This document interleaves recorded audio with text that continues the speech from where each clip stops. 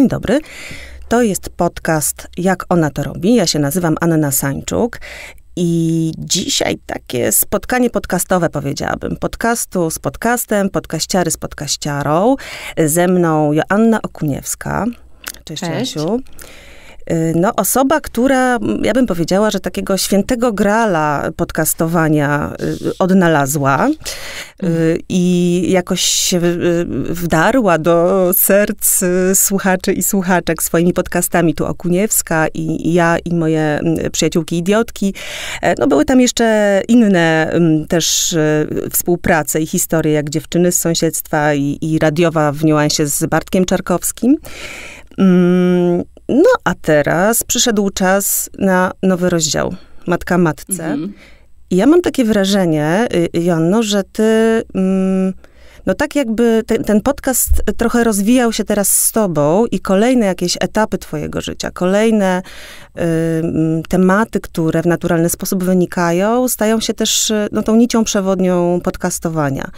A z tobą razem rozwijają się ci, którzy cię słuchają. Czy tak jest? Tak, to jest w ogóle bardzo słodkie i dostaję dużo takich wiadomości, że kiedyś ktoś ze mną idiotkował, a teraz ze mną matkuje. I to jest... Yy... To jest trochę tak, jakby mieć bardzo dużo przyjaciół dookoła siebie i takich ludzi, którzy chcą cię wspierać i, i ci towarzyszą w jakiejś drodze. Yy, I jakby w, w, moim odczuciu to jest y, kolejna społeczność, która się tworzy. To już tak jak były idiotki i idiotkowie w tym pierwszym podcaście, który się stał bardzo popularny i tak. e, dzięki któremu też teraz docieram do, do szerokiego grona nawet bezdzietnych e, osób, które jeszcze, jeszcze nie mają dzieci albo ich nie planują, ale w tym e, podcaście o macierzyństwie też znajdują coś dla siebie. E, I, I to, jak się rozwijają podcasty razem ze mną, mm, to jest też trochę takie, mam wrażenie, że, że to jest i dobra rzecz, i niedobra, no bo niektórzy chcą, żeby te podcasty były takie same jak na początku. E, a kiedy zaczynałam nagrywać, no to było 6 lat temu, byłam w zupełnie innym momencie życia. E, miałam no, 25 lat i Wydaje mi się, że te podcasty, nie tylko ja dojrzewam z nimi, ale one też dojrzewają ze mną i te tematy się zmieniają. Mm, zmieniła się specyfika mojej pracy. Y, od pracy w kuchni przeszłam do pracy na, na własny rachunek i, i do zarabiania na tym, co, co sprawia mi największą przyjemność. E, czyli opowiadania historii. Wczoraj się widziałam z takimi nowymi znajomymi, którzy powiedzieli, o kurde, ty faktycznie bardzo dużo gadasz. Oni nie słuchają mojego podcastu, bo są z Holandii, ale byli bardzo, bardzo właśnie, może, może nie zaskoczeni, no bo wiedzieli, jaką mam pracę, ale powiedzieli, no faktycznie ta praca do ciebie pasuje. I ten takie moje dorastanie z tym podcastem i przechodzenie przez różne etapy, nie tylko takie idiotkowe, ale też właśnie takie długie dojrzewanie do nagrania podcastu o macierzyństwie, bo, bo moja córka już ma prawie 3 lata i ja bardzo długo się, może nie wzbraniałam przed nagrywaniem tego podcastu, ale Chciałaś Czułam, nazbierać doświadczeń jest... może, tak. Dokładnie, że to jeszcze nie jest ten moment, kiedy mam to tak uporządkowane w głowie, bo macierzyństwo jest takim ogromnym tematem i też nie tylko dla mnie, tylko dla każdego. Nawet jeżeli ktoś nie ma dzieci, to sam kiedyś był dzieckiem i jest dokładnie. nadal czyimś dzieckiem. Więc funkcjonujemy w tym systemie takim rodzinnym, niektórzy lepiej, niektórzy gorzej. E, I to, kiedy ja się teraz odnajduję w roli matki, długo mi to zajęło e, tak naprawdę, żeby się faktycznie przekonać o... Ja, wiesz, ja nadal się nie przekonałam o wszystkim i jakby te tematy nadal staram się być, obracać się wokół tych tematów, które już mam za sobą. One są bardzo, bardzo w zasadzie neutralne. Nie są, to nie są tylko rzeczy dotyczące małego dziecka, ale takich emocjonalnych wyzwań, e, jakie niesie za sobą macierzyństwo. E, I wiem, że przede mną jeszcze dalszy rozwój i jakby dalsze dojrzewanie i jako rodzic, i jako osoba, bo mam tylko 30 lat, więc to jest dla mnie takie jakby no nieskończenie wielkie mam wrażenie, że no, te podcasty i tematy, które mi przychodzą do głowy są absolutnie, nie mam tutaj ograniczeń kiedy pracowałam w reklamie, no to te ograniczenia były i to, e, i to spore. I, I, kiedy coś wymyślałam, jakiś temat, na który chciałam e, coś napisać, albo e, kiedy chciałam zrobić reklamę konkretną, bo coś mnie wzruszyło, albo coś mnie zadziwiło i uznałam, że to będzie coś fajnego, no to ludzie mi mówili, że, że nie, nie że nie teraz, że nie mamy budżetu. A teraz, kiedy mogę nagrywać podcasty, mam wrażenie, że przede mną jeszcze przynajmniej pięć podcastów, bo mam cały czas y, zapisane pomysły na inne formaty, które, które też jeszcze muszą odleżeć mhm. trochę. Ale mam wrażenie, że one są jak wino, że po prostu muszą trochę odczekać, żeby, żeby te tematy się uleżały i żebym była absolutnie pewna tego, co mówię i miała na to jakiś fajny, żebym znalazła jakiś fajny wytrych w ogóle mówienia o rzeczach. No właśnie, to też jest tak, jak mówimy o tym rozwijaniu się i rozwijaniu podcastów, czy tych zmianach w ogóle w naszym życiu, no to bycie matką trzyletniej niespełna jeszcze dziewczynki, a bycie matką, tak jak w moim przypadku, nastolatek, prawda, to już jest inny mm. etap i do innych własnych doświadczeń wtedy możemy się, jak sądzę, Dokładnie. odwoływać i, i, i to już jest troszeczkę inny świat. E, tak zastanawiając się, wiesz, nad, nad, to, nad tym fenomenem e, podcastów twoich, myślę sobie, mm, czym właściwie to dla ciebie jest? Ty powiedziałaś coś takiego, że mówienie jako budowanie tożsamości. Mhm. W którym momencie ty się zorientowałaś, że właśnie w ten sposób, no właśnie, budujesz siebie, ale budujesz też społeczność, pozwalasz jakoś y, nawiązać nam, słuchającym, taką szczególną, bardzo bliską więź. Mm, bo to mówisz głównie ty, tak? Czasami mhm. Y, się pojawiają różne osoby, ale y, przez siebie to wszystko przepuszczasz. Myślisz, że to jest ten mm, element kluczowy, który sprawił, że wszyscy tak zakochali się i w idiotkach wszelkich płci, i w, może też w twoim języku, bo on wręcz przeszedł do, do codziennego, jak mężczyzna wychowany przez wilki. Mhm. Nie jest to partner ja raczej myślę, biegnącej że... z wilkami, ale, tak. ale jakoś tak dziwnie się składa. Ja myślę, że na, od samego początku, kiedy tylko przyszedł mi do głowy pomysł y, założenia podcastu, czyli mojego pierwszego podcastu tu Okuniewska, wydawało mi się, że brakuje na rynku y, treści, bo wtedy jeszcze podcasty w Polsce nie istniały. Było, było chyba Kryminatorium jako pierwszy taki kryminalny. Później chyba równo ze mną w ogóle zaczęła startować Justyna Mazur, jakoś w ogóle niezależnie. E, I, I, były tylko te podcasty takie branżowe, firmowe, dotyczące samorozwoju. Nie było niczego lifestyle'owego. E, I czułam, że ten rynek treści YouTube'owy jest bardzo, i też instagramowy, bo wtedy już marketing na Instagramie istniał tak. i miał, miał się dobrze, to czułam, że to jest przesycone taką jakąś przejaskrawioną maską, jakimś takim filtrem obciągnięte, którym, z którym ja się nie do końca zgadzałam, takim życiem po prostu nastawionym tylko na sukces, na y, rzeczy, które mnie bardzo przerażały wtedy, czyli na podróże, samorozwój, wieczne przesuwanie sobie, wiesz, poprzeczki coraz wyżej. Mhm. A ty ściągasz ja... maski, a ty zdejmujesz te, jak mówisz, kolczugi czy, czy kostiumy tak. w tych swoich rozmowach. Pokazujesz Starałam siebie słabą. Bardzo. Tak, i kiedy rozmawiałam właśnie z, z przyjaciółką na ten temat, teraz jest moją menadżerką i przyjaciółką jednocześnie, ale kiedy rozmawiałam z nią, że planuję założyć podcast, to powiedziałam jej e, i pamiętam, że gdzieś nawet znalazłam tego screena, że, że powiedziałam jej, że strasznie mnie irytuje to, jak nie wiem, twórcy, influencerzy y, przekazują y, prawdy o życiu, że, że trzeba być wiecznie po prostu jakimś udoskonalonym, y, wiecznie sobie szukać nowych misji. A ja po prostu celebruję takie zwykłe, średnie życie i brakuje mi takiej, takiego głosu. Nie kogoś, kto ciągle będzie mnie do czegoś motywował albo mi mówił, jak, co mam, jak mam żyć i co mam robić, tylko kogoś, kto po prostu będzie takim normalnym człowiekiem, który będzie celebrował jedzenie chleba w jajku z keczupem rano i który się będzie rozkoszował leżeniem pod ciepłym kocem albo ugrzanymi y, na kaloryferze ubraniami rano. Y, bo wydawało mi się, że to jest też coś, co ja wierzę do teraz, że żeby zbudować z kimś więź albo w ogóle poznać kogoś, to nie, nie, nie, nie, powinniśmy koniecznie zaczynać od tematów wielkich i, i, wysokich e, i rozmawiać z ludźmi po prostu o polityce, o sztuce i o tym, jakie mamy poglądy na, e, wiesz, jakieś światowe tematy, e, które się co jakiś mhm. czas pojawiają. Tylko musimy zapytać tę osobę, czy ona lubi, jak kroi pomidora, to czy jak odkraja tę taką dupkę z pomidora, to czy ją zjada, czy ją wyrzuca. Że to są te takie życiowe bardzo podstawowe, życiowe rzeczy, tak. I dopiero wtedy możesz poznać tak naprawdę człowieka, jeżeli się dowiesz, czy jak, nie wiem, smaruje sobie Y, keczupem kanapkę, to czy oblizuje ten nóż po keczupie, czy go odkłada do zmywarki. No to są takie rzeczy, które, bez których mam wrażenie, że nie możemy się nawzajem poznać. I kiedy budowałam ten podcast od, od samego początku, starałam się właśnie opowiadać o takich rzeczach, które mogą mnie potencjalnie do słuchacza zbliżyć i, i bardzo je tak zrobić je absolutnie normalnymi. No bo ja mówię o rzeczach, które nie są odkrywcze. I jak ktoś mówi, ja nie rozumiem fenomenu Okuniewskiej, bo ona mówi o takich po prostu zwykłych rzeczach i, i co tu w ogóle, co to za tematy do zgłębiania, ja tutaj w ogóle nic nie rozumiem, to dla mnie jest takie, ja też nie rozumiem fenomenu Okuniewskiej, bo ja rozumiem fenomen Okuniewskiej jako mówienie o rzeczach prostych i mówienie o rzeczach ym, trudnych w prosty sposób. Ale musiałam zacząć od tych prostych, od tych najbardziej codziennych, najbliżej yy, podłogi, o, tych, czy, o, o, tym, czy lubię nosić kapcie po domu, czy nie.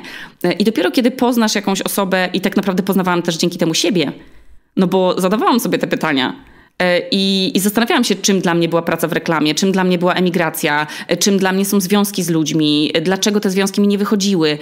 I miałam wrażenie, że dopiero kiedy faktycznie pokaże się ten miękki brzuch i kiedy człowiek się przed sobą przyzna, że nie musi być idealny i nie musi w ogóle dążyć do, tej, do tego ideału i nawet nie musi siebie kochać, gdzie ten po prostu bullshit marketingowy nam wciskają, że trzeba się pokochać i zaakceptować. Ja mam wrażenie, że to jest taki proces, który, który, przez który idziemy przez całe życie, że to nie jest, wiesz, od dziś się zaczynasz akceptować, od dziś się zaczynasz kochać e, i w ogóle bezkrytyczna jesteś wobec siebie, to ja mam wrażenie, że to że to osoba inteligentna raczej nigdy nie dojdzie do tego momentu. E, to raczej nigdy nie szanować, tak, dbać o swoje granice, o jakiś swój dobrostan, mm, pilnować się, żeby się nie pakować w jakieś złe sytuacje albo, albo nie przeciążać się. I to jest wtedy ta dbałość o siebie, to jest wtedy ta miłość sie, e, do siebie, a nie trzeba jej czuć po prostu, żeby nam pękało z zakochania do siebie serce, no bo to wtedy jest szkodliwe. I kiedy budowałam właśnie te, mm, te podcasty od samego początku, starałam się zbudować taką siebie, jaką jestem naprawdę i nie unikać właśnie tych y, niby niskich tematów o, o pomidorze i o, o tym, co tak naprawdę lubię i jakie są moje, y, nie wiem, ulubione wiersze z dzieciństwa, bo, bo to jest trochę... Wytrych. To jest wytrych, żeby tak. wejść głębiej. Ja Dokładnie. Tak I traktowałam to trochę jak pamiętnik. Mam takie momenty, że lubię sobie włączyć jakiś bardzo stary odcinek i myślę sobie, wow, ale w ogóle gdzie ja wtedy byłam, kim ja wtedy tak, byłam. w ogóle kim ja wtedy byłam, nie? Kim była ta osoba i oczywiście mam cały czas na poziomie wartości, jestem tą samą osobą e, i, i, bardzo się cieszę, że mnie nie odwaliło po, po tym e, e sukcesie podcastów, bo, no bo mam nadal tych samych przyjaciół od 15 lat i mam nadal tych samych e, ludzi dookoła siebie, którzy, e, którzy mnie lubią za to właśnie jaka jestem, bo poznali ten mój core, ten, ten mój miękki brzuch.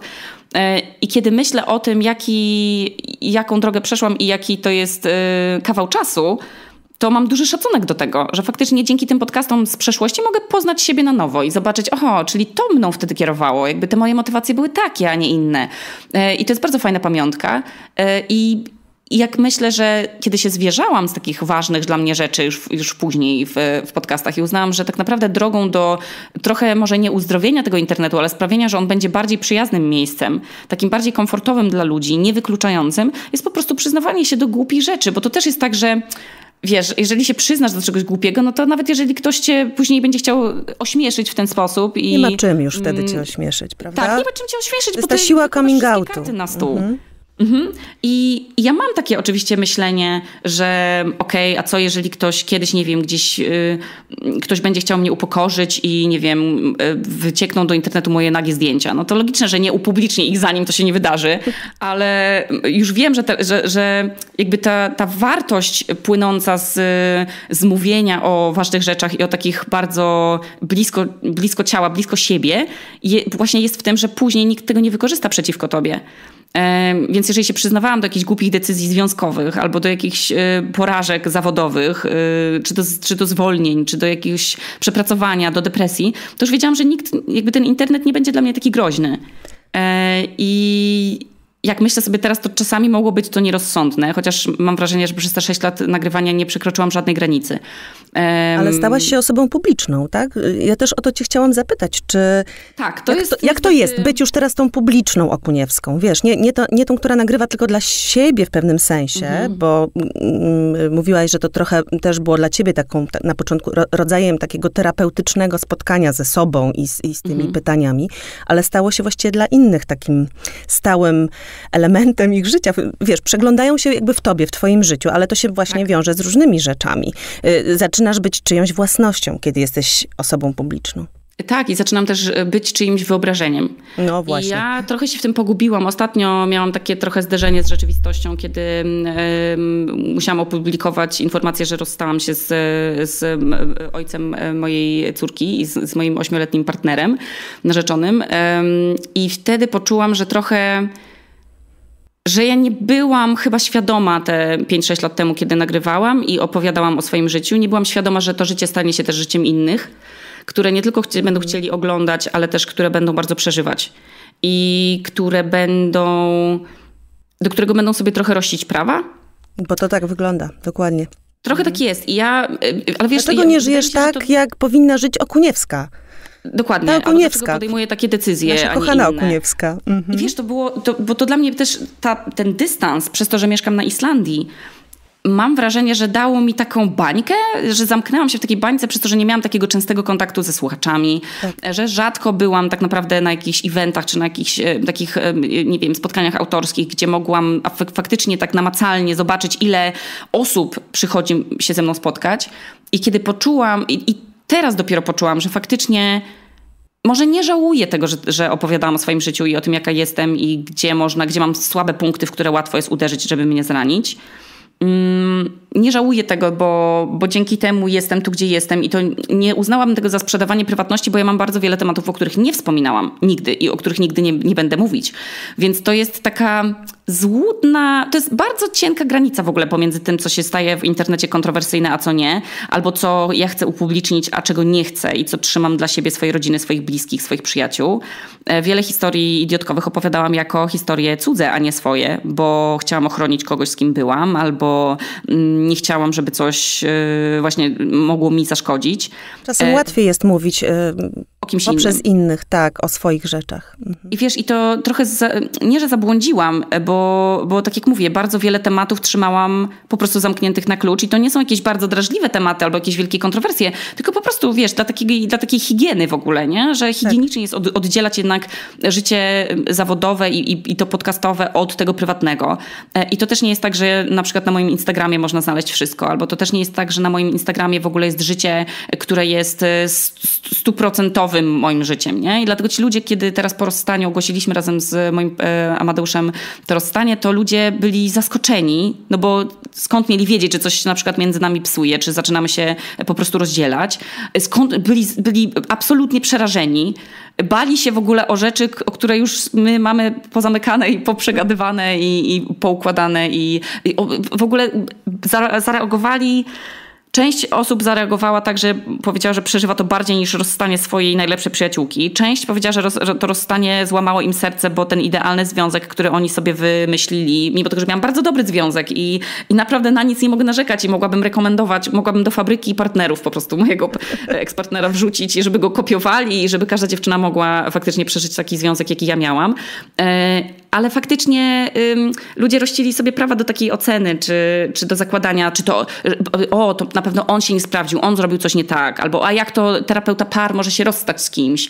Y, to był taki moment, kiedy sobie pomyślałam, że ten ym, nie związek, tylko to życie takie publiczne, czy opowiadanie o nim y, w podcastach, nawet jeżeli to są niewinne rzeczy, jak jakieś opowiadania o wspólnych wakacjach, y, czy opowiadanie w jakiej knajpie byliśmy zjeść i co nam smakowało, to sprawia po prostu burzy tę ścianę pomiędzy twórcą a a odbiorcą i trochę ten odbiorca zaczyna żyć moim życiem. E, mhm. I też, jako że nie widzi pełni tego życia, to uzurpuje sobie prawo do, do życia też trochę w sferze swoich wyobraź wyobrażeń razem ze mną w tym życiu. Więc e, myślę, że teraz już będę bardziej, z, kolejnym związkiem będę na pewno bardziej czujna e, i też mam teraz taką soczewkę, przez którą sobie przypuszczam to, co chcę mówić i, i, myślę, że to mi dało dużą lekcję. Mm, ale też tak jak mówię, no to, to że mówiłam jakby nie, nie, uważam te, nie, nie uważam tego za błąd, ale uważam, że powinnam po prostu zdawać sobie z tego wcześniej sprawę, bo myślałam, że jak jakaś lekcja, na wiesz, jestem nie? dalej, tak, to jestem dalej od tego, od tego, od moich słuchaczy, to miałam wrażenie, że to, to mi daje taki, to był taki fajny bufor. Natomiast teraz y, wiem, że to i tak, że to było tylko złudzenie moje, jakaś taka wiara, że faktycznie y, jestem w stanie swoją prywatność ochronić i, i przez to, że nie mówię wszystkiego, nie powiadam o wszystkim, ludzie nie przeżywają ze, mnie, ze mną wszystkich momentów mojego życia. Mm, mam taki po prostu, y, wiesz, na Instagramie jest to ustawienie bliscy znajomi i tam tam po prostu ci bliscy znajomi widzą więcej, co się dzieje u mnie. Mm, I, I to było dla mnie takie no, mocne zderzenie z rzeczywistością i myślę, że właśnie przy kolejnym związku tego nie popełnię. Ostatnio też miałam takie, takie że byłam na randce, było bardzo fajnie i chciałam złapać tę osobę za rękę i pomyślałam sobie, że nie mogę tego zrobić. Mhm. Bo zaraz ktoś może mnie zobaczyć i znowu, nie wiem. Informacja pójdzie, jakiś... zacznie żyć tak. swoim życiem, pójdzie w ludzi. A byłam w Polsce, więc może jak tak. będę za granicą, to nie będę się tak tym, e, tym stresować. Natomiast e, myślę, że dało mi to taką lekcję. E, wyciągnęłam coś z tego, no. No słuchaj, ale to, że, mm, że się pojawiła ta emigracja, dużo już o tym mówiłaś, natomiast z dzisiejszego punktu widzenia, ty, y, tutaj mówisz y, o tym, że możesz się dzięki temu trochę tak oddzielić. Co ci to dało tak dzisiaj, jak na to patrzysz? Bo czasami to też się zmienia. Znaczy, mówiłaś, akt w desperacji to był. Byłam wykończona Warszawą, chciałam innego życia, innych bodźców i tak dalej. E, mhm. A dzisiaj, jak na to patrzysz, co, co, co ona przyniosła? Każdy przeżywa emigrację inaczej. Właśnie gdy byłam wczoraj, z, wzięłam tych nowych znajomych e, Holendrów do, do takiego miejsca pod Reykjavikiem i, i opytali się mnie właśnie, jakie były moje motywacje, y, dlaczego się wyprowadziliśmy y, na, na Islandię, poza tym, że jest przepiękna i byli zachwyceni i cały czas kazali zatrzymywać samochód, żeby zrobić kolejne zdjęcia owcom i krowom i, i, i mchom i wszystkiemu. to, to opowiadałam im właśnie o tym, że tą moją motywacją do wyjazdu było takie przytłoczenie, zbyt szybkie tempo życia, zbyt duży wyścig szczurów i też przytłoczenie tą pracą, której nie lubiłam robić, bo ja bardzo lubię widzieć efekty mojej pracy. I kiedy pracowałam zaraz po rzuceniu pracy w, w korporacji, w agencji, pracowałam w agencji Grey, kiedy rzuciłam tę pracę i przeszłam na pracę po prostu fizyczną w restauracji, to od razu widziałam efekty swojej pracy, bo wiedziałam, ile ryżu gotowałam, ile warzyw skroiłam, jaka przyszła dostawa. Jakby szłam do domu, kładłam się, pracowałam te 7-8 godzin na początku, wracałam do domu i miałam takie, okej, okay, czyli coś dziś zrobiłam, jestem w stanie wyjaśnić wyjaśnić komuś, na czym polega moja praca. Ta wreszcie praca konkret, wartość. wreszcie prawdziwe, namacalne życie. coś, Ale... co zmienia ludziom życie, że ktoś jest zmęczony, głodny, widzi restaurację, wchodzi do niej, bierze to jedzenie, jest zadowolony, dostaje je ciepłe, ma zaspokojony brzuszek, y, nie wiem, może to jest jego w ogóle highlight dnia i, i myśli sobie, że to jest jakiś wspaniały moment. Mm, I to było dla mnie ogromną wartością. A w mojej poprzedniej pracy, tej pracy twórczej, która i tak nie była twórcza, tylko była mm, bardzo ograniczająca, no bo nie mogłam pracować na swój własny rachunek e, i nie mogłam sama sobie tworzyć projektów, w których bardzo chciałam brać udział. I ja myślę, że to jest taki taki chyba moment w moim życiu, e, całe, cała ta wyprowadzka tutaj, to była to była też duża lekcja życiowa, żeby jednak zmienić, żeby się odważyć, zrobić coś nowego, ale też dla mnie emigracja była sposobem trochę na odzyskanie siebie. W sensie ja w Warszawie funkcjonowałam chyba w niezbyt zdrowy sposób. Ale mogłaś I... wrócić na Warmię, z której pochodzisz ty i pochodzę ja, bo obie jesteśmy z Olsztyna, tylko jakby z różnych trochę generacji. Tak, ale nadal byłabym blisko tego, co mnie czułam, że trochę ogranicza. W sensie potrzebowałam jakiejś wolności, która byłaby dla mnie taką wartością, bo wolność jest dla mnie wartością samą w sobie I, i, na Islandii faktycznie czuję się wolna i to może brzmieć jak taka po prostu klisza, ale Islandia daje mi y, y, może takie kulturowe wyzwolenie, że te wszystkie mhm. takie polskie naleciałości, jakieś polskie mm, zasady, jakieś takie, tak, jakieś, jakieś przekonania, które wynieśliśmy z domu, które mi szkodziły, nagle na Islandii ich nie zauważyłam i to było dla mnie bardzo duża zmiana. I, I dla mnie to, to stanowiło ogromną, ogromne takie otwarcie, że, że odważyłam się być sobą, właśnie przestałam się wstydzić, um, przestałam um, jakby uważać cały czas na to, czy, czy gdzieś przynależę, czy gdzieś pasuje, no bo do tego środowiska reklamiarskiego bardzo chciałam przynależeć, ale jakby ono było dla mnie trochę obce. E, studiowałam mikrobiologię, więc te, też to, to środowisko takie naukowe też było dla mnie bardzo takie, zagłupia byłam na to, jakby powiem też szczerze. Nie? Jakby ja jestem tym kreatywnym umysłem, nie ścisłym, myślącym, zapamiętującym, mm, więc e, jak wyjechałam tutaj i tak naprawdę, wiesz, miałam czystą kartę, mogłam sobie stworzyć w ogóle zupełnie inną tożsamość, mogłam powiedzieć, że jestem królową polską, albo że w ogóle ogóle jest, znaczy teraz mogę śmiać, bo tak mnie nazywają, że jestem królową polskich podcastów, więc tak, o tobie y, mówią, no to faktycznie prawda. to żart, ale, mm, ale mogłam powiedzieć, że nie wiem, jestem emerytowaną tenisistką i, i tak naprawdę ktoś by mi w to uwierzył. Więc kiedy przyjeżdżasz gdzieś i możesz tak naprawdę wsłuchać się, w, krojąc te warzywa i zastanawiając się, wow, kim ja tak naprawdę jestem? Że wcześniej definiowałam się pracą w, w, w reklamie, w środowisku kreatywnym, a czy teraz mogę się definiować pracą w restauracji i odkryłam, że na Islandii nikt cię nie definiuje jej pracą. Że ważne jest to, co robisz po pracy. To, co cię jara, to, co, y, y, gdzie poświęcasz czas, w co wkładasz ręce. Czy jesteś rzeźbiarką, czy, jesteś, y, czy lubisz sport, czy masz zespół, czy piszesz książki. Islandczycy są bardzo otwarci na to, co robią po pracy i naprawdę nie jest dla nich mają istotne, czas są kelnerami. Mają Dokładnie. czas, Joanna, na to. Work-life balance tak. jest o wiele bardziej... U nas jest nadal, chociaż myślę, że to już się zmienia, ale mm. nadal jest ten taki kult pokazywania, ile to się nie pracuje, ile nam nasza praca dostarcza, e, wiesz, możliwości, że tutaj jeździmy na plany zdjęciowe do, na Madagaskar, a później to w ogóle, wiesz, i, i oczywiście pomija się te Ale mm, wszyscy jesteśmy w końcu wypaleni, stronę. jesteśmy w jakimś dziwnym oczywiście. miejscu, gdzie wszyscy, wiesz, łyżkami jedzą tabletki antydepresyjne, tak. antylękowe i, i, i tak dalej. Czasem wystarczyłoby popatrzeć na las. Tak, bo depresja mi doś, do, doszła do mnie też, y, przyjechała razem ze mną z Polski. Uciekniemy, Natomiast to.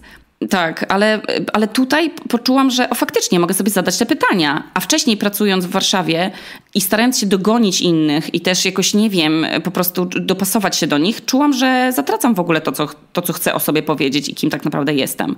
I, i tutaj się poczułam bezpiecznie. Emigracja dała mi taki zdrowy dystans. Zaczęłam zauważać rzeczy, które przywiozłam ze sobą w, plac, w plecaku z Polski i które mi w ogóle nie służą, bo które wynikają tylko z naszej kultury, e, która jest też mocno e, osadzona w religii i, i w takich konserwatywnych wartościach. Okazało się, że Islandczycy są zupełnie inni i, i ta Islandia przyjęła mnie tak naprawdę z otwartymi ramionami z tym, co ja chciałam się o, o, sobie dowiedzieć.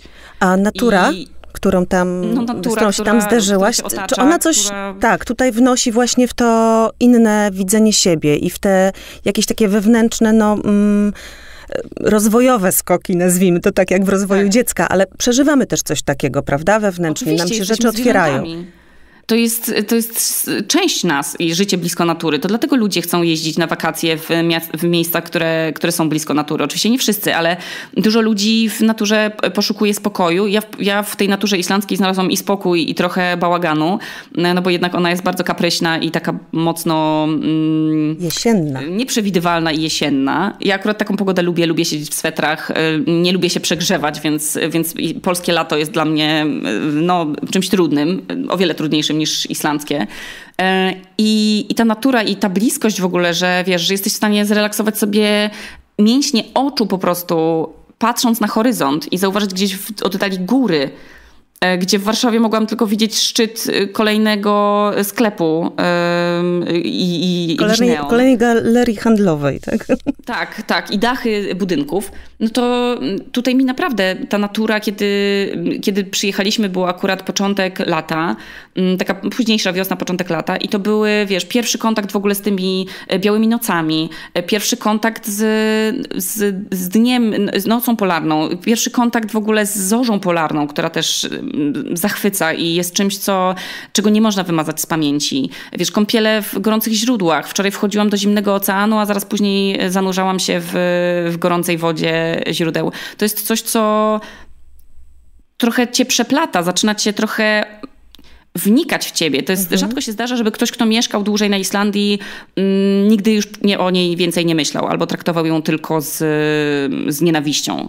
Ta Mi Islandia wydaje, że gdzieś się w nas zakotwicza i to jest bardzo trudne, żeby ją z siebie wydobyć yy, i zupełnie ją tutaj zostawić. Wydaje mi się, że, że tam bardzo mocno też można poczuć, yy, że jest się częścią. Taki, jak się jest w takim dosyć surowym tak. krajobrazie, yy, i jest się trochę znikomym wobec tej przestrzeni, wobec żywiołów, ale z drugiej strony też jest się y, bliżej tego. Jest się bardziej Zgadzam uważnym się. na to, że jest się częścią, a nie czymś oddzielnym, jakimś po prostu buńczucznym bytem, który teraz bierze wszystko i sobie tak. czyni poddanym, prawda? I to też właśnie to, to, to, takie poddanie i to, że ty musisz się poddać trochę tej przyrodzie i naturze jest tutaj bardzo, jest częścią życia. Że nie zmienisz tego, że ta pogoda jest kapryśna, nie zmienisz tego, że planowałaś piknik, a przyszedł sztorm. To są rzeczy, którym się musisz podporządkować, a my mamy, zauważ, mało rzeczy w życiu, którym się, którym się musimy tak bardzo podporządkować, bo wszystko wszystko sobie możemy w sumie pod siebie zaplanować. Mhm. Jak chcemy wziąć urlop, to możemy zazwyczaj ten urlop sobie tam wyszarpać, ale. ale jedziemy zrobić. w ciepłe, jak chcemy ciepło, tak, prawda? Jedziemy w ciepłe, wiesz, jak chcemy obejrzeć komedię, to sobie klikamy i włączamy od razu komedię, nie musimy wychodzić z domu. Chcemy zamówić jedzenie, jednym przyciskiem zamawiamy jedzenie. E, odbieramy z paczkomatów wszystko, co nam się zamarzy z drugiego końca świata. Mm, a na Islandii jednak ta pokora jest potrzebna, żeby zaakceptować to, że nie wszystko jest y, w naszych rękach i że nie zawsze jak się bardzo, bardzo, bardzo chce, to to wychodzi też jakoś mam w sobie takie przekonanie, że ta Islandia daje i ta jej surowość daje przestrzeń na to, żeby faktycznie usłyszeć siebie, ale nie mówię tego w taki metafizyczny sposób, usłyszeć siebie, że tylko siebie i to, co mamy w głowie, ale też siebie nawzajem, bo po prostu ludzie mają więcej czasu na to, żeby spędzać ze sobą chwilę. E, I gdybyśmy pracowali, ja i mój ekspartner, gdybyśmy pracowali na etatach w Warszawie, raczej nie mielibyśmy tyle czasu dla naszej córki i tyle um, też cierpliwości e, do wychowania jej, bo um, bycie w Warszawie to był wieczny hałas i wieczne tempo i, i to, że pojawia się nowa restauracja, nie chcę, wiesz, masz FOMO, żeby tam iść albo nie iść, musisz mieć zdanie na wszystkie tematy, a tutaj nikt cię nie pyta o zdanie na żaden temat ważny. Hmm.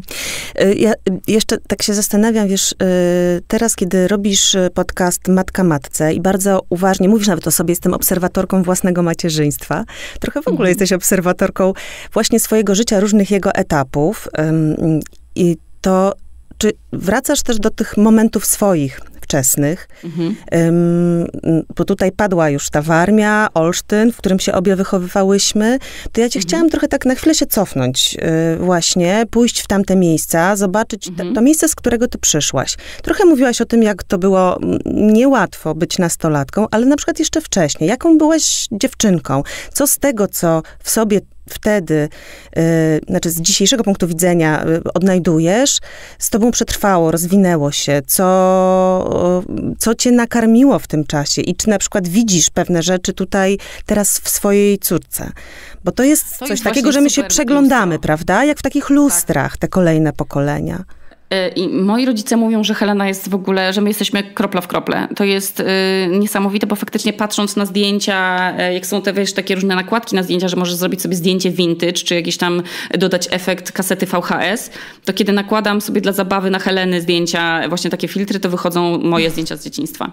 Zmienia się mała tylko otoczenie. Mhm. To jest mała Okuniewska. To jest, to jest niewiarygodne, jak bardzo można być do kogoś podobnym z wyglądu, e, ale też z zachowania, bo moi rodzice mówią, że ja byłam dokładnie takim samym dzieckiem, że byłam bardzo pogodna. Tego, może tej pogody ducha ze sobą już tak dalej nie zabrałam, bo jednak e, jest we mnie i zawsze była jakaś część mroku. E, I, i dużo życia straciłam na romantyzowanie smutku i dawanie mu zbyt dużej przestrzeni. E, teraz daję mu tylko tyle, ile potrzebuje, żeby wybrzmieć i żebym go usłyszała, zaakceptowała i, i z nim pobyła. Natomiast nie mam już tej tendencji do, do umartwiania się takiego jak kiedyś. Myślę, że to taka może moja nastoletnia jakaś y, część taka była. E, I, I, Helena jest y, dokładnie jak patrzę na nią, no to, to, to co mówią moi rodzice że, że byłam pogodna, że byłam, że się budziłam zawsze w świetnym humorze. Gaduła? Że byłam, tak, że byłam gadułą, e, opowiadałam jakieś niestworzone historie, miałam bardzo bogatą wyobraźnię i faktycznie moja mama teraz obserwując po pewnym, e, po pewnym czasie, e, po kilku miesiącach Helenę, to powiedziała, że ona ma w ogóle styl zabawek pięciolatka że to, że to jest w ogóle ponad trzylatkę, że moja mama jest nauczycielką klas 1-3 i ten rozwój dzieci y, zna i powiedziała, że, jest, że to jest po prostu bardzo podobne zabawy do mnie, takie bardzo wyobrażeniowe. Ona się nie bawi rzeczami tam układając, czy tam robiąc jakieś klocki, tylko ona, wiesz, teraz jak byliśmy na lotnisku dwa dni temu, to ona znalazła coś, co przypomina te, taką, y, ten kontener, do którego się wkłada tam te wszystkie rzeczy przez kontrolę bezpieczeństwa. Znalazła sobie taką swoją małą zjeżdżalnię w domu i wkłada rzeczy do tego, małe plecaczki, małe walizki do, do tej kasety kasetki i przepuszcza je przez tą taśmę i mówi, że jest na lotnisku. Ona ma tak samo bogatą wyobraźnię jak ja. Oczywiście w, nas, w nas jest też zasługa, że my tej wyobraźni nie, nie zabijamy w niej i, i że jak zauważymy, zauważamy, że ma jakiś zmysł artystyczny, czy, czy właśnie jakiś taki kreatywny, no to staramy się jej zapewniać jak najlepsze warunki do tego, żeby, żeby to rozwijać. E, I więc ja widzę bardzo dużo siebie w Helenie i, i też moi rodzice mówią to samo. Ona jest też taka bardzo ugodowa, jest bardzo prostym dzieckiem. Mi się, mi się wydaje, że trafiła, chyba że to właśnie to, że mam dla niej dużo cierpliwości, dużo czasu i też bardzo dużo, mam duży przywilej, że mogę się regenerować, czyli mogę pojechać na 3-4 dni, e, czy do Polski, czy spotkać się z koleżanką, czy pojechać na domek na Islandii bez dziecka e, i trochę też pielęgnować samą siebie, nie tylko Wakacje od, relacje, e, od rodzicielstwa. Od tak. rodzicielstwa, to chyba ostatni temat twojego tak. opublikowanego mm, podcastowego odcinka. Dokładnie. Dokładnie. I, i to, to, jaką Helena jest osobą, chciałabym, żeby, żeby w niej przetrwało. Tak samo jak myślę, że z dzieciństwa wyjęłam może tę umiejętność dogadywania się z ludźmi, um, takiego też ciągłego pędu zdobywania jakichś nowych umiejętności, bo lubię się uczyć nowych rzeczy, jeśli mnie to ciekawi, więc jak widzę Helenę, która próbuje coś nowego się nauczyć, nie wiem, zrobić bransoletkę, czy, czy właśnie, nie wiem, mówić jakieś nowe wyrazy w innym języku, to mam takie, że okej, okay, to jest to coś, co, co ja też cały czas w sobie pielęgnuję jako dziecko. Mm, I to takie robienie sobie to jest w ogóle bardzo piękne w macierzyństwie i to jest coś, co mnie najbardziej zaskoczyło, jak ktoś się mnie pyta w ogóle obcy, e, kto na przykład nie słuchał moich podcastów i, i pyta się mnie, a, a, czy ty lubisz być matką i w ogóle czym dla ciebie jest macierzyństwo, to mam wrażenie, że macierzyństwo jest bardzo dużym i to jakby nie chcę być zrozumiana um, um, niewłaściwie, ale to jest bardzo duży plaster na swoje własne dzieciństwo. Że można bardzo dużo swoich nierozwiązanych albo nieprzepracowanych spraw dzieciństwa zobaczyć i przeżyć na nowo i obandażować tę część nas, która, która tego wymaga, zmieniając schematy, w, w które moglibyśmy wpadać, tak jak nasi rodzice wpadli w schematy swojego wychowania i wychowywali nas w konkretny sposób. Mam wrażenie, że to takie naklejenie plastra i zatrzymanie jakiejś powodzi, która mogłaby lecieć dalej, a my po prostu bierzemy korek i ją blokujemy. I możemy, jak widzę siebie na terapii, mam terapię w, w, w formule EMDR, czyli, czyli stymulacji obu półkul mózgowych, to jest terapia traumy. I kiedy mam, przerabiam Każdy w Polsce powinien przez to przejść. Tak uważam. W sensie uważam, że też w ogóle tak kraju wiesz, pokoleniowo. Na pewno. Pokoleniowo tak. i też wiesz, pokolenie naszych dziadków, gdyby już wtedy, tak jak teraz weterani wojenni przechodzą przez terapię MDR i w Stanach jest to też bardzo popularne, to mam wrażenie, że gdyby to zostało zaleczone już w zarodku, to przekazywanie ran. wychowania opartego, tak, ran, ale też o autorytet, o strach, o takie jakieś przyzwyczajenie się do tego, że jest się kimś gorszym, no bo będąc dzieckiem, wiesz, dzieci i ryby głosu nie mają, więc wyrastasz nie w poczuciu, że możesz wszystko, y, masz wsparcie, plecy za sobą, że ktoś ci pomoże, że jak upadniesz, to masz, wiesz, pomocną rękę, to to wychowanie, że jak upadniesz, to po prostu ktoś ci powie, że nie płacz, bo nie bądź beksa czy coś tam, to chciałabym, żeby każdy faktycznie mógł taki plaster sobie nakleić i mimo tego, że ja miałam stosunkowo dobre dzieciństwo, to, to zawsze jest tam, pojawiają się jakieś takie myśli, że coś czegoś mi brakowało i, i mogę teraz to, czego mi brakowało, dać mojej córce. I nie mówię o takich rzeczach materialnych, że chciałam mieć baby born, którego nigdy nie miałam, ale też myślę, że już niedługo na urodziny kupię Helenie to baby born, bo to było moje marzenie. Karmienie lalki Dasz prezent jej i sobie jednocześnie, tej, Trochę tak, małej. Ale, ale to są te prezenty, wolę jednak te prezenty emocjonalne, żeby dać, wiesz, kolejnemu pokoleniu takie, takie absolutnie silne uczucie, że że jest widziane, że jest słyszane, że jest kochane, akceptowane, absolutnie takie, jakie jest, że nie musi nikogo udawać, nie musi być dla mamy kimś, jakimś wzorem, odlewem, że może być absolutnie wolne i poznawać się w swoim własnym tempie, że może popełniać błędy. To, to jest moje macierzyństwo i mam wrażenie, że macierzyństwo każdego, chciałabym, żeby każdy mógł takie doświadczenie w swoim e, rodzicielstwie w ogóle znaleźć, żeby sytuacje na przykład takie, kiedy moja córka jest w samolocie, nie chce zapiąć pasów, mimo tego, że wie, że te pasy powinny być zapięte, ale już ze zmęczenia, po prostu nie chce współpracować, chce się zbuntować, musi jakoś tę energię negatywną swoją wyrzucić, nie wie.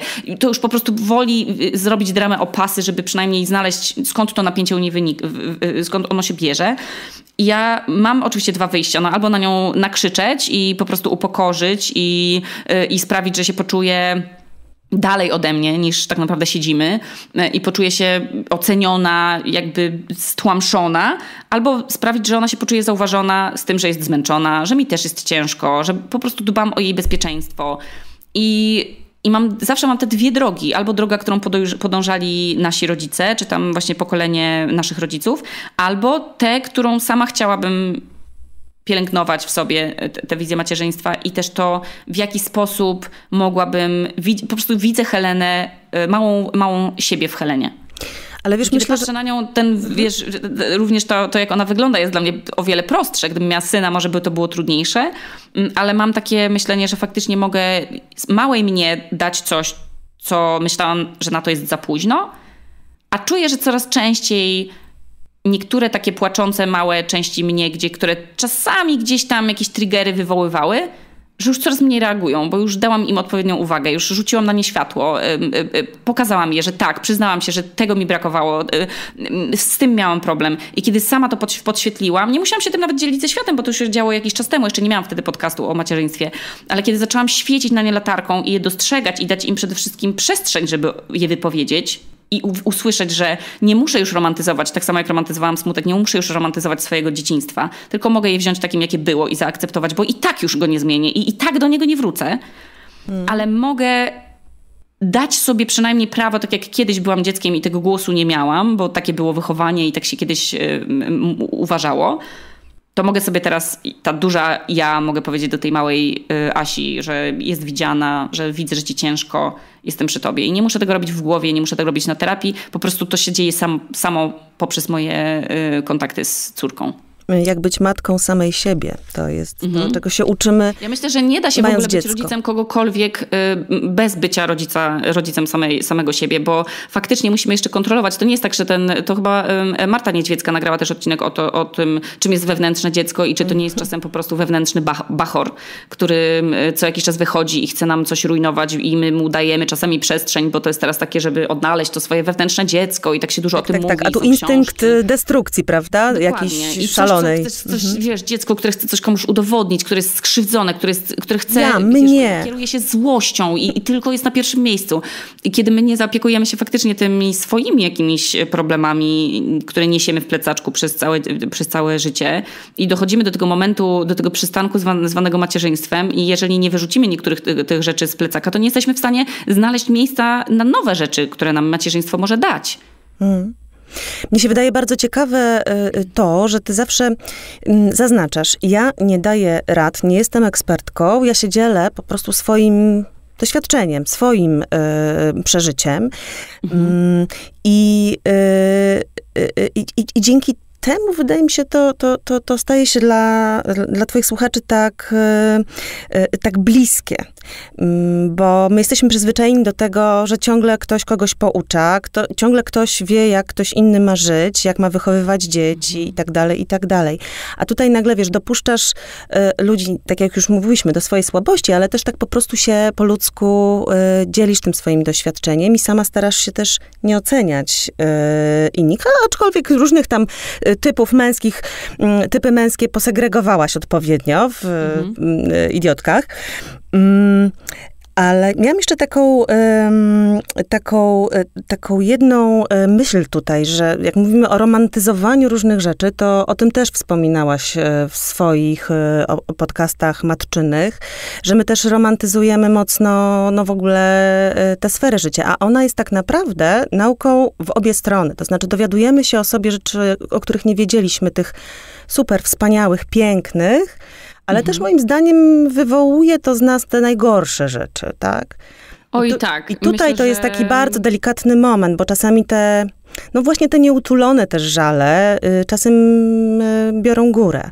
I, i niestety tak. to jest ten moment, kiedy odciskają się dalej na naszych y, dzieciach, więc ta, to właśnie jest nieskończony taki taniec, ja bym powiedziała. Ja nie, ja nie w ogóle, ja nie oceniam innych rodziców, co jest oczywiście cały czas moją wewnętrzną walką, no bo wychowywałam się w środowisku, w, wychowywaliśmy się, myślę, w środowisku w Polsce, gdzie podziały są czymś normalnym. No jasne. I w ogóle takie dzielenie się, stawanie. Hierarchię w ogóle, prawda? Czy jesteś za Legią, czy za wiesz, to jest jakby, zawsze musisz podjąć jakąś decyzję w ogóle w, w Polsce. To nie jest tak, że możesz być w ogóle gdzieś tam w odcieniu szarości, tylko to zawsze jest spolaryzowane.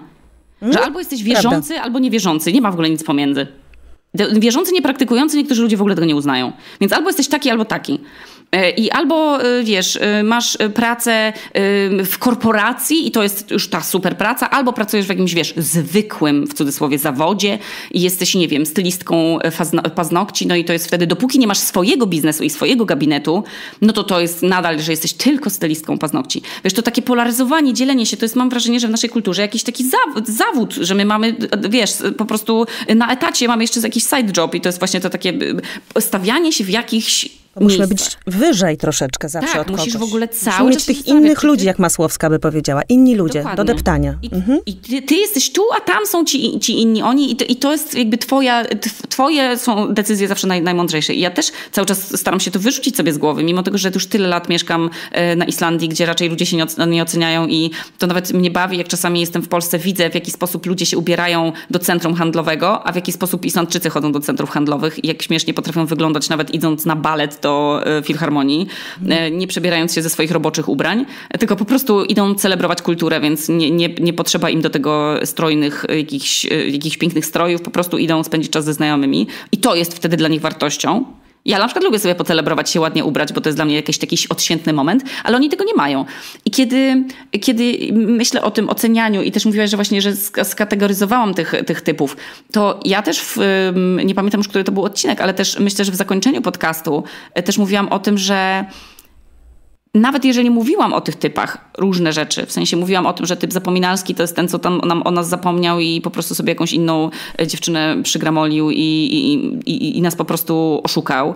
E, to ja nadal starałam się pokazywać, to, jest, to dobrze widać w mojej książce, bo na przykład temat zdrady był takim tematem, też bardzo polaryzującym. Niektórzy mówią, ja bym nigdy nie zdradził, a, to, ja, a ja to w ogóle nigdy bym czegoś takiego nie zrobiła, a drudzy mówią, że, a drudzy mają to doświadczenie za sobą, więc ja postanowiłam dać głos tym trzem stronom i zarówno osobom, które zdradziły, osobom, które zostały zdradzone i tym, które, z którymi ktoś zdradził bo wydaje mi się, że bez pokazania całego spektrum, właśnie te, również tego, co jest pośrodku, nie tylko tych dwóch polarnych swoich y, y, y, pól, to, to, to, nie da się powiedzieć pełnej prawdy.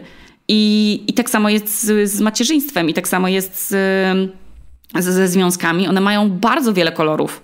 I są takie układy patchworkowe ludzi, którzy żyją ze sobą, w, nie wiem, są ze sobą 20 lat, a nie mieszkają razem i mają zupełnie inne, wiesz, widzenie. Są e, e, głęboko pokrzywdzone. Wiesz, typ, typ toksyna ma też w sobie coś tragicznego. Hmm. To nigdy nie jest, że mm, z mojej strony tylko ocena, ale ja zawsze mówię, że jakby są metody, którymi można sobie radzić, z, e, jeżeli masz sobie jakąś tam ciemną stronę i coś z dzieciństwa właśnie traumatyzującego, albo jakieś mechanizmy takie związane z przywiązaniem. To są rzeczy, nad którymi da się pracować i to nigdy nie jest tak, że jedna, jedna toksyna będzie dla wszystkich toksyną.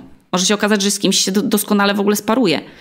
Mm, I to, to są te takie chyba mm, radioaktywne, nie wiem, nie wiem, jakie, to też Niedźwiecka mówiła, e, czy to są nuklearne po prostu związki, kiedy po prostu osoby jakieś ci nie pasują, um, ale okazuje się, że komuś innemu pasują bardzo. Nie pamiętam, muszę się cofnąć chyba do tych podcastów. Nie, nuklearne ale, ale to raczej to po prostu te, te malutkie te. takie, wiesz, tak, komórki ale, ale, rodzinne.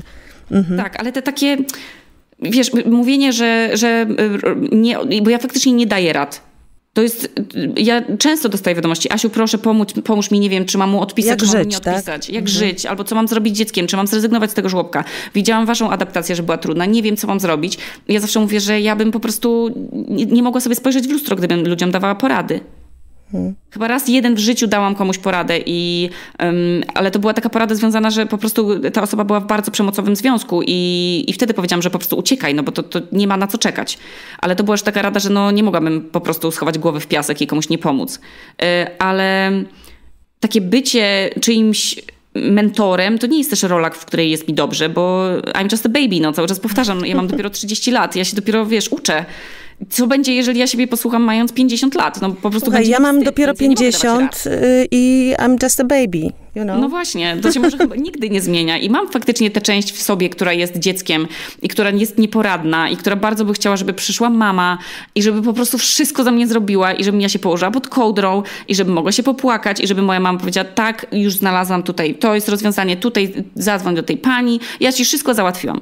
Chciałabym tak, ale tak nie ma, więc mam tę część Just a Baby, którą akceptuję i którą czasem wykorzystuję i pozwalam jej wyjść na powierzchnię, ale mam też tę część, która niestety musi trzymać y, gardę no, i która musi chronić też tę moją wrażliwszą część, która jest ta nieporadna i, i trochę nieodpowiedzialna, nie, nieodpowiedzialna i nieroztropna, e, a ta, ta większa ja, która czasami musi podejmować jakieś decyzje związane czy z biznesem, czy z pieniędzmi, e, mimo tego, że mam super doradców, to, to i tak czasem niektóre rzeczy zależą ode mnie i ciężko jest mi czasami wyjść z tej pozycji bezbronnej i takiej nieporadnej i wejść w pozycję um, girl boss, bo się nie czuję jako taka osoba, nie? Mimo tego, że że um, osiągnęłam i stabilizację finansową i um, czuję się bezpiecznie, to i tak nie czuję się jak girl boss. No. Mm. Czasem też potrzebuję buziaka w czoło i czasem też potrzebuję, żeby ktoś podjął za mnie decyzję i czasem idę do knajpy i mówię, że proszę mi dać coś, żeby pani wybrała. Idę na lody i mówię, niech pani wybierze. Ja nie chcę dzisiaj. Poszłam kiedyś na paznokcie i też nie, miałam, nie chciałam patrzeć na te próbniki z kolorami i po prostu powiedziałam, niech taki... pani zrobi to, co pani się marzyło od dawna. I po prostu wyszłam z jakimiś czerwono-zielono-żółtymi punkowymi paznokciami, ale pomyślałam sobie, fajnie, no dałam też komuś trochę pola do popisu, do wyrażenia się, a ja sobie przynajmniej zdjęłam jedną decyzję do podjęcia w ciągu dnia z barków. Zawsze mam problem z wybraniem tego koloru, wiesz, u manikiurzystki y, też czasem Mówię myślę, ci, że... oddaj sprawy w ich ręce. że chciałabym, żeby ktoś za mnie wybrał. Może tak zrobię, może skorzystam z... To jest mm. przywilej, że możesz po prostu się oddać, bo to, wiesz, ta sytuacja tak. nie, to, to, nie zmieni twojego życia, no. To, to jak pójdziesz do knajpy i ktoś ci da coś, co może nie było jakieś wybitne, ale, ale było smaczne, no to, ale to przynajmniej podejmujesz wtedy jedną decyzję w ciągu dnia mniej. A to jest duży komfort, bo wtedy możesz trochę tak jak poprosić mamę. No mama ci zamawiała, jak jeździłaś na wakacje, to mama ci zamawiała czy kopytka, czy kluski, czy coś tam. Powiedziała, że tym się nie ubabrzesz, tu osa nie podleci, słodkiego nie będziemy jedli, to nie, zupy, nie, nie możesz wypić całego y, soku naraz, bo będzie ci chciało siku, a nie będzie w drodze gdzie zrobić. Więc ja, ja też tak jak czasami muszę analizować tyle rzeczy w ciągu dnia, i tyle jakichś podejmować decyzji, które są absolutnie dla mnie, przerastają mnie już czasem, co dać mm. mojej córce na kolację. E, że jak, jak wchodzę w tę rolę, jak idę na paznokcie i mówię pani, niech pani zrobi, co tylko pani sobie uważa, to mam takie yes, ale też to odpuszczenie kontroli nie dla wszystkich jest łatwe. I też nie w każdej dziedzinie życia byłabym w stanie tę kontrolę odpuścić. E, ja zawsze pytam moje rozmówczynie e, o takie rzeczy, które są y, y, dla mnie też jakoś ważne w czasach y, nie najłatwiejszych i akurat no ja mieszkam ciągle w Warszawie, w mieście, które bardzo kocham, ale które jest wymagającym miejscem właśnie tak życiowo. To jest trudne środowisko. Mhm. Tak, jeszcze jak się pracuje w kulturze, wiesz, to naprawdę tu w tym miejscu świata nie jest łatwo. I, i, I, sama szukam też takich e, odpowiedzi na pytania, na przykład, co mnie napędza z jednej strony, a z drugiej strony, co mnie ładuje, co mnie jakby relaksuje i przez to, wiesz, pozwala mi się y, jakby zresetować. Więc ja mam mhm. też takie pytania do ciebie. Czasem to w, w tych opowieściach z twojego życia, w tych felietonach, można powiedzieć, bo to są trochę czasami takie felietony, mhm. czasami stand-upy. Może już w tym macierzyńskim okresie to jest takie troszkę poważniejsze, bo, no bo sięga bardzo właśnie w takie, y, w, te, w, ten, w ten miękki brzuch bardziej tak. wchodzimy. Ale właśnie, jak patrzysz na to, co cię napędza, to co to będzie? Ciekawość na pewno, to wiem, ale tak, co ciekawość. jeszcze? Ja w ogóle mam takie wrażenie, że ktoś mówi, że szuka celu w życiu i się zastanawia, jaki jest sens życia, istnienia i w ogóle, to jakby ja, ja jest mi bardzo łatwo znaleźć odpowiedź na to pytanie, na to pytanie bo, bo dla mnie to jest po prostu dowiedzenie się sensem życia. Jak, chcę, jak będę umierać, to chcę mieć poczucie, że dowiedziałam się o świecie, o sobie, o moich bliskich, o tym jak, o zwierzętach, o planetach, tyle ile się dało że chcę jak najwięcej się dowiedzieć, że chcę cały czas pielęgnować w sobie tę dziecięcą ciekawość. Głód e, I życia. Tak, taki, że, że wiesz, że kocham osoby, które y, wiedzą coś, czego ja nie wiem. I teraz, mhm. kiedy byłam na tej randce, to miałam, byłam taka, o Jezu, co za absolutnie orgazm dla uszu. Słuchanie o czymś, na czym ktoś inny się zna i co go pasjonuje, a o czym ja nic nie wiem, a to jest dla mnie zupełnie nowa dziedzina życia, której w ogóle mogłam sobie googlować później, wiesz, zapisywałam sobie jakieś słowa kluczowe w głowie, bo to było dla mnie tak pasjonujące, bo to jest coś, czego jeszcze nigdy nie dotknęłam, nigdy tego nie doświadczyłam, jakiś zupełnie nowy temat y, y, dotyczący życia. W sensie nie mówię randkowanie, mówię tylko tam o, o, pasji tej osoby. Nie chcę teraz już, jak mówiłyśmy wcześniej o prywatności, nie chcę mówić za dużo. Ale, y, ale właśnie to jest takie, to, od, od, wiesz, dużo klepek mi w głowie się otworzyło e, i obejrzałam jakiś nowy film, posłuchałam jakiejś nowej muzyki i sobie pomyślałam, Jezu, jest jeszcze tyle rzeczy, o których ja nie wiem. I to jest, to jest coś, co mnie napędza, takie zadawanie sobie pytań. To, że potrafię to pytanie zadać, a później inne osoby na to pytanie w głowie sobie odpowiadają, bo dla nich też okazuje się to ciekawe i cenne, to jest też coś, co mnie bardzo napędza w ogóle do, swojej, do mojej pracy. Że czasem mam wrażenie, nie, to jest chyba głupie porównywać przyjaźń do kanapki. A później sobie myślę, nie, to jest właśnie bardzo fajne. A macierzyństwo do gry komputerowej. Tak, gdzie nie możesz się cofać, nie, moż, nie możesz sobie do, dobrać życia, nie możesz sobie doładować um, um, amunicji, a musisz mhm. cały czas skakać i robić te rozkroki i, i, nawet nie wiesz, ile misji jeszcze przed tobą. Mhm. Więc y, staram się patrzeć na życie w taki sposób, że to jest coś, co wtedy to mnie karmi, bo zastanawiam się też, co mnie karmi, to, to właśnie chyba to, żeby patrzeć na życie jako taką dużą platformę, na której mogę skakać gdzie tylko chcę. Hmm. To jest. Mm, myślę, że nie, nie mogłam sobie tego wyobrazić e, w, w, e, w Warszawie, ale w, na Islandii mam tak, że, że myślę sobie, kurde, ja, ja mam tylko 30 lat Kiedyś sobie myślałam, jak miałam 25, już myślałam, o nie, już mam 25 lat, już nie pójdę na żadne studia. Już, już w ogóle za późno jest na to i na to, ja już mogłam spędzić studia, bo już na Erasmusa nigdy nie pojadę, a też mogłam i, a, i tego nie spróbowałam i tego i teraz mam tak, Jezu, czy ja teraz jestem, mam 30 lat i mogę robić co chcę?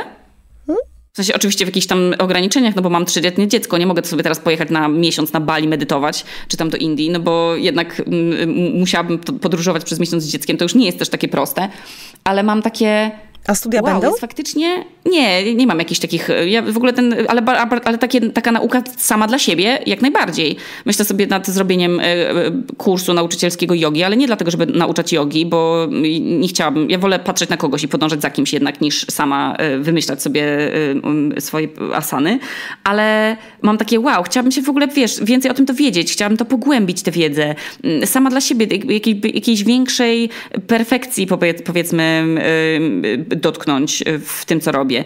I też tak samo z podcastami, że to takie, wiesz, przesuwanie sobie stale nie, nie tej, tego szczebelka, że muszę być lepsza, ale mogę być po prostu cały czas taka sama. Ja uważam nadal, że jestem średnia w wielu rzeczach. Jestem dobra w mówienie, jestem dobra w takie kreatywne, wyobrażeniowe rzeczy, ale w wiele rzeczy jestem naprawdę bardzo średnia e, i daję sobie też przestrzeń do tego i dzięki temu, że sobie, że nie, nie czuję się ekspertką w praktycznie żadnym temacie dotyczącym życia, to to mi daje takie, że wow, jeżeli nie jestem ekspertką, nie muszę być ekspertką, mogę każdego tematu życiowego liznąć po prostu. Hmm. Żeby, żeby nie żałować tego. Jak będę umierać kiedyś, to sobie myślę, i tego próbowałam, i tego próbowałam, i tu byłam, i tego, i, a to mi się nie sprawdziło, a to, mi, a to mnie znudziło i będę sobie myślała, kurwa, fajnie, że zrezygnowałam z... O Jezu, nie wiem, czy można przeklinać w podcaście, ale po, chciałam sobie Swoim pomyśleć... przeklinasz, więc wiesz, w tym też możesz. Może dasz mi jedno... Daję dyspensę że, że wiesz, chcę powiedzieć takie wow, przy, nawet jeżeli czegoś nie chciałam spróbować, to tylko dlatego, że to była moja decyzja. Jeżeli chciałam w coś wejść całą sobą, to to była moja decyzja, że chciałabym właśnie czuć, że, że to jest coś, co mi da, daje wiatr w skrzydła, że nie jestem jakby pod nikim w pracy na przykład, więc mogę mhm. sobie gdzie chcę wędrować w tej, w tej podcasterskiej e, drodze, że mogę sobie, wiesz, zadawać pytania, odpowiadać na nie i nie zastanawiać się, czy ktoś mnie oceni. Bo jakby i tak najgorszą ocenę, jaką mogę sobie wystawić, to ja sobie sama ją jestem w stanie wystawić. Najgorszy komentarz w internecie, jaki mogłabym o sobie napisać, sama bym go napisała, bo i sama siebie najlepiej y, znam. Ja myślę, że te, z tych komentarzy w internecie to są bardziej takie, że sobie myślę, jak ktoś mógł mieć taką wyobraźnię, żeby połączyć sobie jakieś takie dziwne fakty i jakieś alternatywną rzeczywistość stworzyć o mnie. Więc to jest raczej, one mnie nie bolą, tylko już, już teraz mam takie co? Bo to jest o tej osobie, wiesz, to nie o tobie tak, jest, nie? To jest, ale to jest też o tym, jak ta osoba, wiesz, bo to ona mnie widzi przez jakąś swoją soczewkę, czyli jaka no jest dokładnie. historia tej osoby, jaka ona jest, jakie ma doświadczenia. To jest tak jak, wiesz, z rozstaniem. Zastanawialiśmy się, jak opowiedzieć trzylatce o rozstaniu. I umówiliśmy się z, z, taki, z taką psycholożką dziecięcą i ona nam powiedziała, słuchajcie, ona ma trzy lata, ona nie wie, co to znaczy rozstanie. Jeżeli wy jej powiecie, że pogrzeb to jest danie, to ona będzie myślała, że można zjeść na obiad pogrzeb, bo ona nie wie, co to jest rozstanie. Więc jeżeli wy jej przez wy jej dacie swoją definicję rozstania, którą będziecie znać z popkultury, z rodziny, z własnych doświadczeń, że nie wiem, rozwód rodziców to jest jak się rodzice kłócą, walczą o dzieci, szarpią się o pieniądze, dzielą dom na pół i tak dalej, to ona będzie miała taką definicję. A jeżeli wy jej w zgodzie powiecie, że po prostu rodzice się czasami rozstają, że mają dwa domy, że bardzo się lubią, że są nadal rodzicami, ale po prostu ich drogi się roz, rozchodzą, przestają się na przykład kochać, ale mogą być ze sobą po prostu rodzicami, to, a mieć innych partnerów, to, to, to, to będzie ta definicja, jaką to dziecko przyjmie.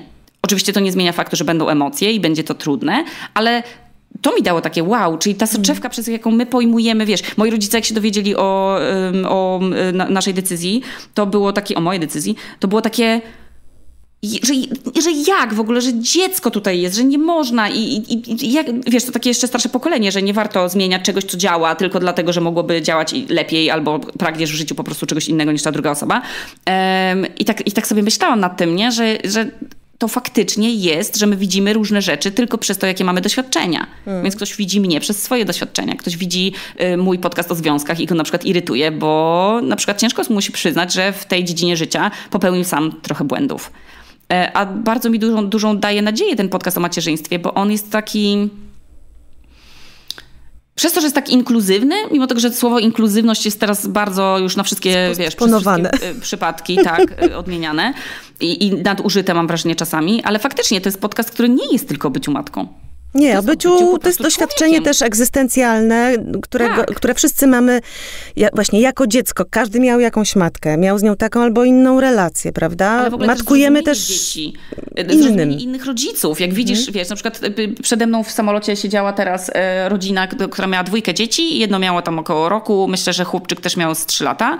E, to byli Islandczycy. No i odkąd tylko ten samolot ruszył, to, była, to był lot nocny, więc ja już wiedziałam, że Helena już jest trochę taka zmiękczona, już zaraz będzie chciała pójść spać. Natomiast oni puścili temu dziecku y, trzyletniemu bajkę pełnometrażową y, na tablecie z głosem. I wcześniej bym ich pomyśl... oceniłabym ich w głowie i bym sobie myślała, Jezus, że to dziecko powinno spać. Dlaczego oni mu puszczają bajkę? Będzie miało po prostu sieczkę zamiast mózgu. Jak można dziecko w ogóle pokazywać, wiesz, aż tak długo te ekrany w ciemnym samolocie, nie jeszcze bez słuchawek. W ogóle co za głupi pomysł. Tu moje dziecko nie może spać.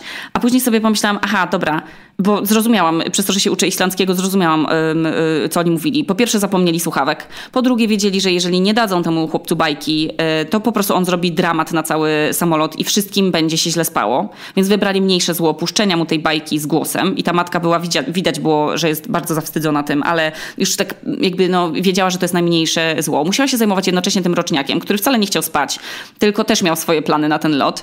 I wtedy sobie pomyślałam, okej, okay, czyli to jest kolejna lekcja dla mnie. Żeby nie oceniać. I, I tak samo jak oceniałam te matki, które robiły bałagany w restauracji, bo ich dziecko rozdrapywało drożdżówkę tak. i cały, cały jeden odcinek prawie temu poświęciłaś, tak, bo tak, świetny i, i oceniałam. Ja później sama znalazłam się w sytuacji, kiedy musiałam kupić dziecku tego croissanta czy jakiś, jakiegoś rogala, żeby, żeby mieć chociaż te 10 minut z koleżanką spokoju, żeby móc chwilę z nią porozmawiać, żeby jedną nogą dotknąć chociaż małym palcem tego starego życia, kiedy możesz porozmawiać z kimś dorosłym i trochę zanurzyć się w tych dorosłych opowieściach, zanurzyć się w jakichś opowieściach o pracy czyjejś, kiedy ty akurat tej pracy nie masz, bo, bo jesteś na urlopie y, zwanym urlopem macierzyńskim, y, ale, ale że masz wciśniętą tę pauzę w, ży w życie i ta taka walka w matkach, żeby sobie, żeby jeszcze, żeby tę pauzę puścić, żeby chociaż odrobinę móc zrobić, wiesz, y, jakiś przeskok do starego życia, albo żeby po prostu uporządkować, dodać elementy do tego obecnego życia, jakieś, które sprawiały im radość wcześniej.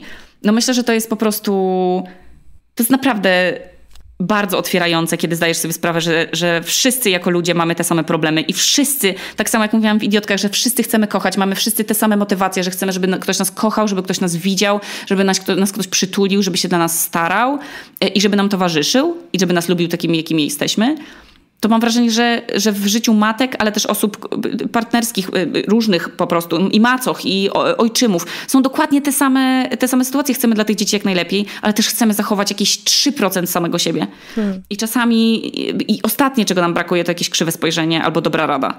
E, I, i to, żeby zachować ten kor swój i nie, nie, nie porzucić go w trakcie macierzyństwa, to bardzo chciałabym, żeby, żeby to po tym, po tym podcaście zostawało ludziom w głowie, ale też to, że nie, żeby spróbować odwróć, odwracać sytuację żeby spróbować podważać trochę to, te, te, oceny, które nam też media i też jakieś pisane przez copywriterów sztuczne artykuły, wywiady, które, które na pewno są zmyślone o tym, że tam, nie wiem, oj, moje dziecko poszło na e, basen i było może nie na basen, ale tam na plaży było gołe i mierzyłam się z takimi wrednymi komentarzami ludzi. I, I, wtedy generuje to po prostu kolejne komentarze, w które my wierzymy, że ludzie tak naprawdę myślą. I mam nadzieję, że uda się ludziom zmienić trochę to myślenie i będzie więcej osób myślących tak jak ja, które będą myśleć, no dobra, no ta matka po prostu robi teraz to, co, czym może zapobiec na przykład jakiemuś wielkiej awanturze, albo po prostu, że jeżeli nie da teraz temu dziecku tego loda, albo jeżeli to dziecko nie dostanie tej świni, czyli mówię dać świnię, czyli Świnka. puścić mu bajkę, tak. Mhm. to, to po prostu ona zaraz straci cierpliwość i wybuchnie i wszyscy będziemy świadkowi, świadkami tego, tego jej wybuchu, tego zatracenia w ogóle ostatniej kropli cierpliwości. Ja sobie zawsze wtedy wyobrażam, że osoby, które robią rzeczy, które ja bym w, w swoim macierzyństwie, czego bym nie zrobiła, albo wydaje mi się dopiero, że ja bym tego nie zrobiła, a później się okazuje, że dołączam do tych rodziców, albo dołączam do, do, do, na tę stronę barykady, to sobie myślę, że tam po prostu jest 2% baterii. Zawsze hmm. sobie myślę o tych 2% baterii. I wtedy e, ta, ta ocena zamienia się we współczucie, bo ja też często jestem w, nawet w sytuacjach zawodowych, czy jestem w sytuacjach z przyjaciółmi, po prostu kiedy mam 2% baterii i mam, mam wrażenie, że po prostu sobie zastrzelę w łeb, bo już nie wytrzymam. Jeszcze jedna, jeden telefon, jeszcze jeden mail, albo je, jeszcze tylko dostanę jakąś jedną wiadomość od kogoś i po prostu strzelę sobie w łeb. I wtedy sobie myślę, dobra, to jest te 2% baterii. Każdy, każdy jest czasem w tej sytuacji, że ma 2% baterii. I to, czego się wtedy chwytamy, można się, niektórzy się chwytają papierosów, niektórzy się chwytają sportu, niektórzy się chwytają tego, żeby dać dziecku świnie. Mm? A ty gdzie wciskasz pauzę? Co jest twoją pauzą? Twoim y, relaksem, twoim doładowaniem? Bardzo lubię jogę. Hatha yoga jest czymś, co mi daje takie instant wejście w medytację. I to jest duża dla mnie bardzo wartość y, w moim życiu, że to jest coś, co robię bardzo regularnie, już od listopada, trzy razy w tygodniu i, i to jest stały punkt mojego grafiku po prostu. Jeżeli, nie, jeżeli mi wypadnie jedna yoga, no to muszę ją sobie odtworzyć po prostu, jeżeli nie mogę na nią, wiesz, pojechać do studia, to, to robię w domu. I to jest coś, co mi bardzo dużo dało, nie tylko tak fizycznie, ale tak bardzo uspokajająco. Relacje z ludźmi, które też mnie naładowują, ale to też jest ta cienka granica, kiedy przegniesz, a kiedy te... Mhm, żeby nie przedawkować. Wiesz, mhm. Tak, żeby nie przedawkować jednak ludzi, więc też czas, taki balans pomiędzy czasem z ludźmi i czasem e, sama dla siebie. Mm, I to jest coś, co mnie bardzo ładuje. No i odpoczynki od macierzyństwa, czyli taki wyjazd gdzieś na, na trochę, żeby przez kilka dni nie musieć, e, nawet przez dwie doby, e, nie musieć się zastanawiać, żeby to, żebym to nie ja musiała podejmować decyzję, tylko żebym mogła się wtedy tą Just a Baby Asią zajmować i, i, i jej pozwalać wyjść na powierzchnię. To to są chyba takie moje najbardziej. Y, no i nie piję kawy, co też okazuje się, że jest moim paliwem. To nie picie kawy paradoksalnie, a nie ładowanie w siebie kofeiny, bo, bo okazało się po wielu latach picia kawy, że ona mi nic nie daje dobrego, a tylko daje mi coś niedobrego, więc kiedy odstawiam kawę, to się poczułam dużo lepiej y, i też odzyskałam trochę kontrolę nad y, swoją energią w ciągu dnia i ich, jej poziomami. No słychać było, że Okuniewska to trochę tej energii ma. Widać, działają te sposoby na doładowanie. Bardzo Ci dziękuję, że jak matka matce tutaj pewne rzeczy opowiedziałaś. Kobieta kobiecie. Jak ona to robi? No właśnie tak robi to Okuniewska. Mm, raz w Reykjaviku, raz na Warmii, e, a raz w swoich podcastach. Bardzo, bardzo jeszcze raz e, Ci dziękuję za, za, za po prostu rozmowę, za, za bycie. Ta rozmowa e, taka mm, od małych rzeczy zaczynająca się, ale często schodząca jednak w niezmierzone głębie nas samych, mhm. to, to jest może to najważniejsze, co, co możemy sobie dać wzajemnie po prostu. Tak Bardzo Ci dziękuję za wysłuchanie. Dzięki serdeczne.